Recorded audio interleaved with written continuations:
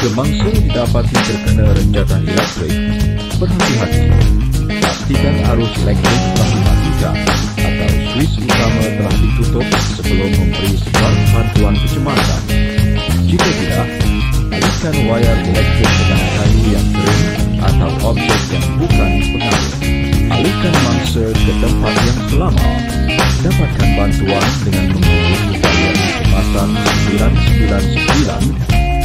mangsa sekiranya CPR perlu dilakukan. Beri rawatan awam sekiranya mangsa terbakar dan meletup. Jika mangsa tidak sedarkan diri, berikan rawatan untuk mangsa pingsan. Temani mangsa sehingga bantuan tiba.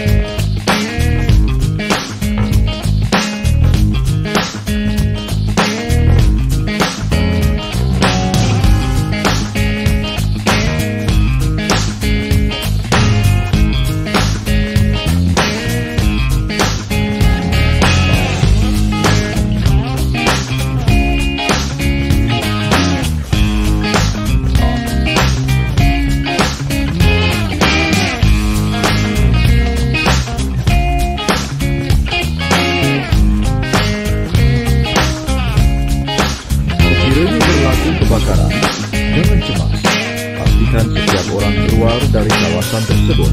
Tutup pintu untuk mengelakkan api merebak.